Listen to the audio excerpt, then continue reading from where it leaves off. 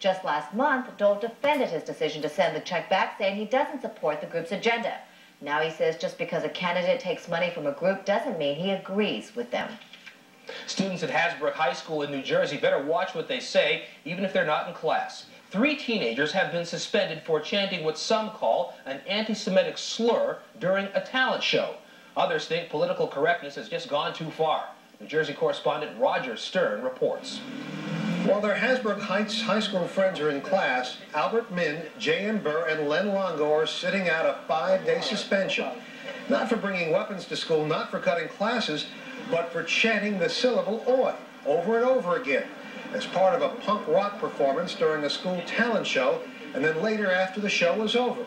Two students in the audience found oi, oi, oi anti-Semitic. They say we're racist, we're skinheads. We, our words don't even touch race at all.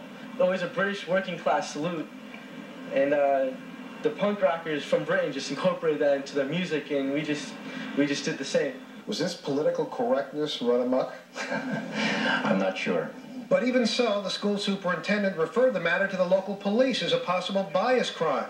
The three were taken to headquarters, read their rights and questioned, and then released after police found there was no bias, bouncing it all back to the school. And what did the principal do?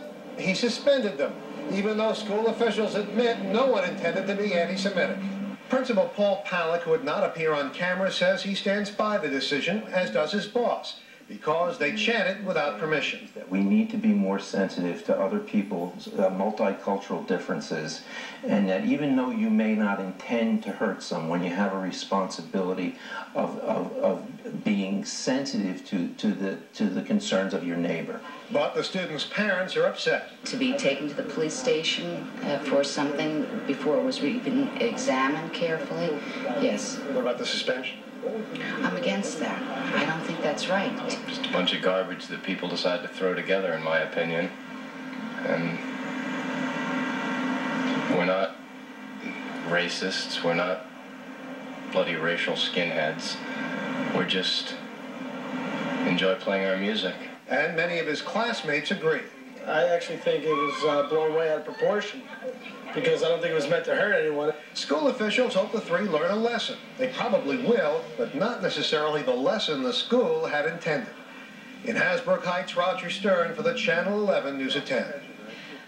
One of New York's finest is being honored in Miami as Police Officer of the Year. 32-year-old Arlene Beck reports from Hasbrouck Heights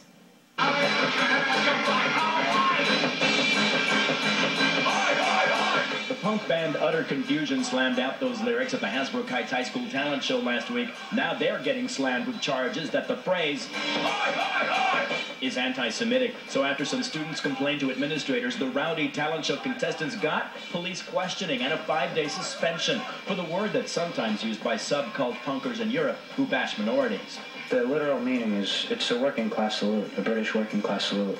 They claim stripped of their punk trappings, the lyrics have a positive spin. I don't even care what you're like. I don't even care if you're black or white. Playwright and actor Avi Hoffman, creator of the play, Too Jewish.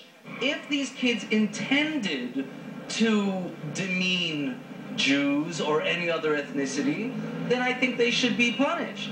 But, you know, people can be sensitive to a lot of things, and, and a lot of times people are oversensitive. The superintendent tells me police did not find it to be a bias crime. However, he says there are important lessons for the suspended band members to learn. There's consequences for your behavior, whether you intend or not to intend, intend to hurt. But clearly, there were people who were hurt by this incident. The whole thing has Hasbrouck High students divided.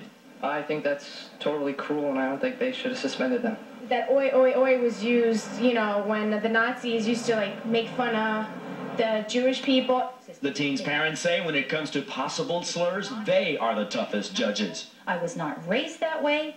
I will not allow anything racist in my home. In Hasbrouck Heights, New Jersey, Mario Bosquez, Fox News. The parents are appealing the suspension. They're worried about their son's records. That's permanent school records. Well, they have a law in Nassau County that bans the sale